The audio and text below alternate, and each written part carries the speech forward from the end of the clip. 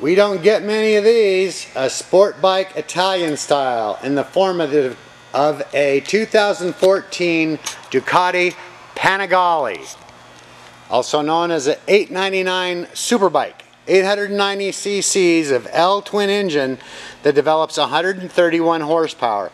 The bike only weighs 415 pounds and in more than one on, online, uh, uh, excuse me, in more than one online publication, the bike boasts 0 to 60 miles an hour in under 3 seconds. Panigale. Had to have a coworker, Josh, correct my pronunciation of that. I wanted to call it Panagal. 16,528 in, inches, miles as of this moment. Color is Arctic White Silk. Stock number is 018418. Bike's in great shape. It just came out of service and detail